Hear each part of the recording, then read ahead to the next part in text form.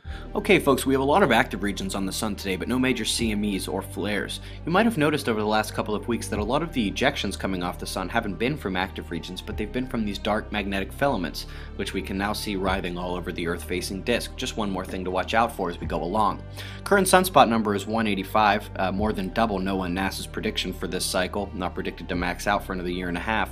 You might remember last night we were talking about solar active region 11363. It had a beta gamma delta magnetic classification, but upon closer investigation, we were saying that we don't see a delta spot anywhere. We think this is just beta gamma and in addition, look how many sunspots there are. Once you get too much above 10, chance of X flares goes way down. Well, today they seem to agree it's beta gamma, and there are 35 sunspots.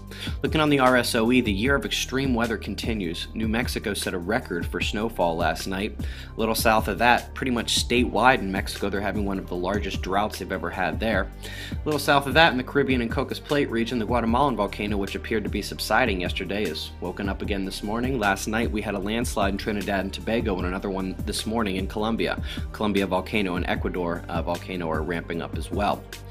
Folks, the world financial system truly is on the brink of collapse. Now, this is George Soros. These are his words. Now, regardless of what you think of him, regardless of what you think of his crimes against humanity or how he may benefit from this collapse.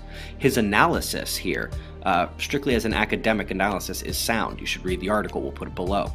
The EU is reconsidering their sanctions on uh, Iran, the oil, because they're saying that oil prices may go up above $250 a barrel if they put these in. Wonder what that would do to the economy.